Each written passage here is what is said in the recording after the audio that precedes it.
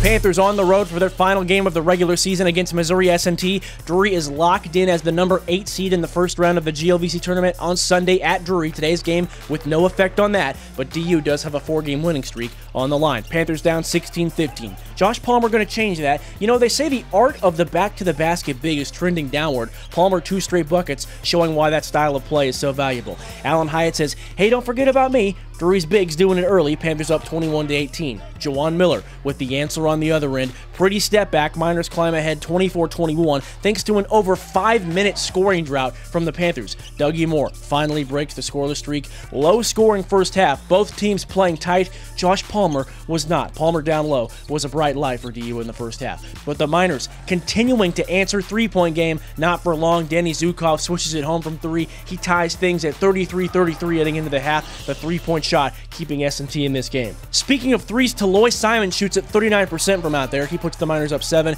That number grows all the way to 13 until Palmer stops the bleeding. He led all scores with 21 and 1. Count the free throw. Drury down 59-49. But S&T keeps the three-point barrage coming. Irvin Sir Eilich lead back to 12. Then off the steal, it's Miller again, coast to coast to the rack. That pushes the lead all the way to 18, 68-50. And here's the exclamation point. This is the kind of second half it was for Drury. Randy Holmes corrals the rebound, somehow flips it up and in. He goes for 20. Missouri S&T shoots 12 of 31 from 3 and closes out their season with a win at home over Drury, 77-62.